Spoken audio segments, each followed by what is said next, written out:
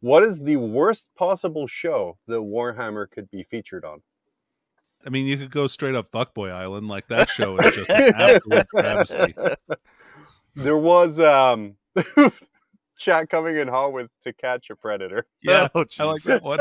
Oh, Uh, chat coming as well by saying Master Chef Yeah. would be a bad one. Jersey River Shore. Monsters. River monsters. Teen Mom, Jersey Shore. Uh, this is all great for people. What about watched that intervention show? You know the intervention show. The horror- That would be good though. I think Oh, like it should show I up on buy that too much Warhammer kind of thing. Oh Ooh. no. You just have the hoarders people show up at the Art of War house and be like, "Describe your living room to me. what is this green wall for?" Has there ever been a model in your bathroom for an extended period of time? If so, you probably have a problem.